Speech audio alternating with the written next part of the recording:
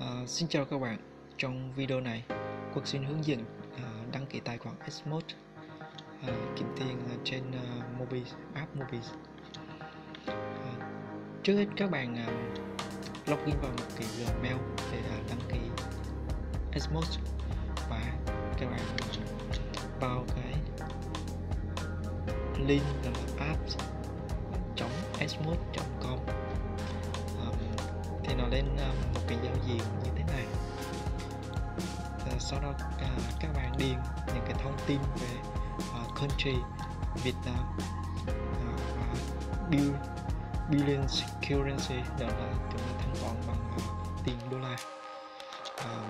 Sau khi các bạn điền xong thì các bạn tích vào là tối đã đọc và ví dụ về cái vấn đề này. Ok, và sau đó các bạn chọn là Chris. Atmos account. Và chúng ta sẽ tạo ra một cái tài khoản Atmos ok. Uhm, trong phần này thì uh, các bạn à, uh, tích vào yes tất cả những cái phần này. Cái phần này thì cũng không, không có gì là đặc biệt. Uh, tích vào để update những cái uh, thông tin cái từng năm và những cái uh, cái, cái, cái thông báo những offline của Xmode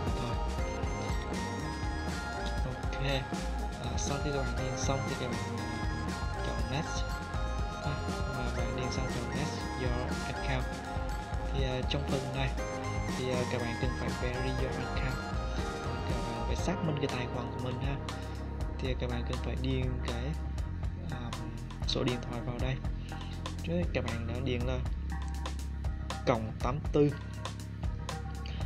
um, các bạn nhớ là đối với tài khoản Việt Nam thì chúng ta cần phải cộng 84 để và điền vào cái số điện thoại của mình để à, xác minh cái tài khoản của mình ha.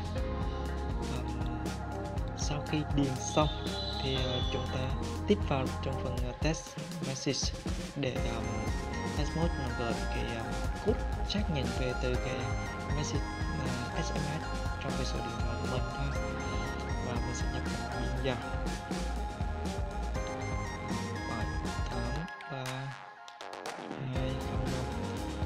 ok xong. Các bạn chọn verify ha rồi um, như vậy uh, như vậy tôi đã hướng dẫn cho các bạn đăng ký thành công về một cái tài khoản Xmode um, và